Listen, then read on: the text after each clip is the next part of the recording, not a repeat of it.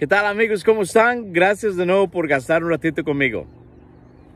Voy a contarles uh, otra historia. Y lo hago porque me hicieron una pregunta. Me hicieron una pregunta importante.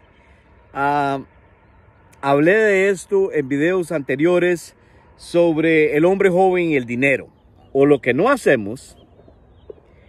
Y eventualmente pues se nos termina la juventud y volvemos atrás y decimos, ¿qué realmente hice yo con mi tiempo? Creo que tenía alrededor de 25 años. Sí, tenía 25 años, estaba en Costa Rica y esta fue la primera vez donde pienso y creo honestamente que yo puedo tener mi propio negocio, que yo con eh, las ideas que tengo, puedo lograr uh, ser mi propio jefe y proveer un servicio que me iba a dar no solamente de comer a mí, sino ayudarme a mantener mi familia, etc.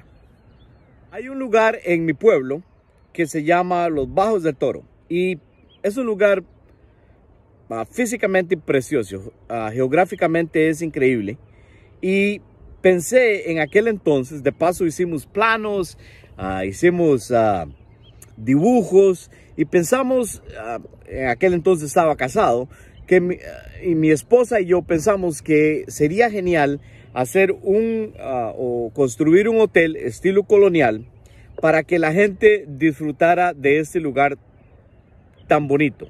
Totalmente nunca encontramos el financiamiento y pues desistimos de la idea. Estoy hablando de esto por dos razones, amigos. Dos razones muy sencillas. La primera, cuando usted tiene un sueño, ¿qué es lo que se ocupa para lograr o poder lograrlo, poder cumplirlo? De eso voy a hablar en este video. Segundo, que si usted tiene un sueño, es por algún tipo de razón. ¿Y por qué es tan importante fijarse en todo esto cuando uno está joven? A esta edad que ustedes tienen.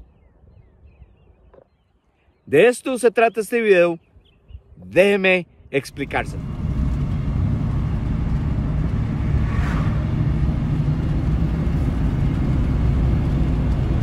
Anteriormente había dicho amigos que es excelente para un joven viajar, ir a otro lugar, conocer otra sociedad, otra cultura. Ah, y sigo pensando que eso es excelente para una persona joven. Sin embargo, en esta conversación estamos hablando de todos estos jóvenes que tienen este gran interés de empezar eh, su propio negocio, que tienen un tipo de visión y aunque quizás no sea una visión a, largo plazo, pues está ahí. Y lo, y lo más importante de este proceso es de que un hombre joven va a aprender. Y cuando usted está aprendiendo a esa edad, amigos, créanme, se le va a hacer más fácil cuando llegue a mi edad para ser consistente, usted tiene que aprender a trabajar en ello. Y esto, amigos, se da en la madurez.